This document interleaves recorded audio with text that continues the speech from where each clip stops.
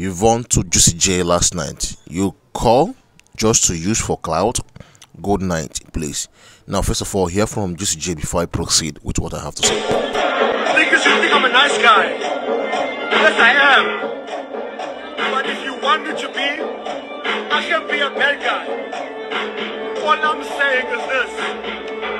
I've, I've given everyone my true self. Much. Okay, guys, so welcome back to my YouTube channel, and do not forget to like this video and subscribe for back to back to back updates.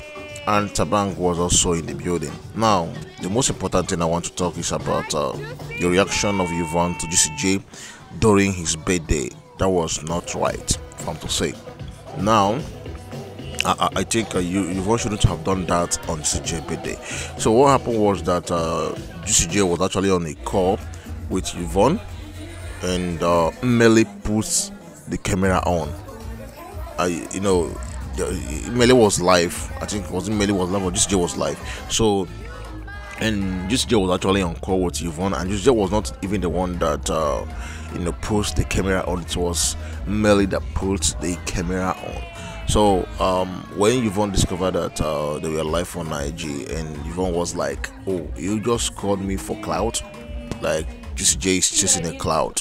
Um, that simply implies that um, Yvonne mean what Yvonne mean there was that she don't have any business of uh, whatsoever with uh, and Juicy Jay. But I don't think uh, Yvonne should have done that on Juicy Jay's Yes, I am. birthday. And that alone has you want me to provoked the young man, someone who was actually celebrating his birthday and turned it into a different thing and he became annoying and angry. Such shouldn't have been done on his birthday.